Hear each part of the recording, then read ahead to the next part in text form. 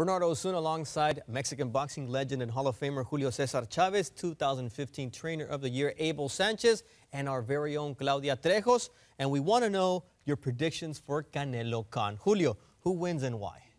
Canel, Canelo por nocaut, por su juventud, su fortaleza y su peso.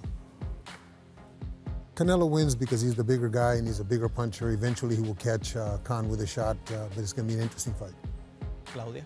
I second that thought. It's definitely uh, Canelo taking the best part of this fight because of his size, because I don't think Amir Khan can actually handle the speed and the pace of the fight along 12 rounds. So I think the fight is going to be stopped in the sixth, seventh round. There's consensus then on this panel that Saul Canelo Alvarez should come away with a victory. I see a late stoppage. We'll see how long Amir Khan can stick to the plan that Virgil Hunter has forged for him, but we know that he likes to exchange at certain points, and that could be crucial, a crucial mistake against a man like Saul Canelo Alvarez. The future today is in Canelo's hands, but moving forward, there's a fight that everybody wants to see, and that is against Gennady Golovkin, your charge. How confident are you that that fight will eventually happen?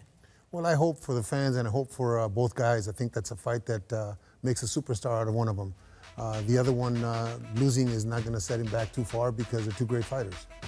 Now, when you look at that fight and, and what would require for that to happen, right now it seems like the business of boxing wins over the love of the sport and giving the fans what they want.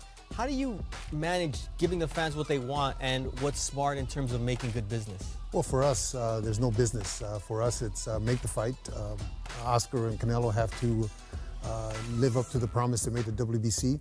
If they don't, uh, I, I, think the Canelo loses in legacy, loses in, in reputation. Uh, but eventually that fight will happen, but that's the fight that people want to see now. Julio, in your eyes, do you think it's necessary for Canelo's legacy to fight somebody like Triple G? Definitivamente es la pelea que todo, que todo el mundo espera. Yo creo que el Canelo para poder eh, llegar a, esa,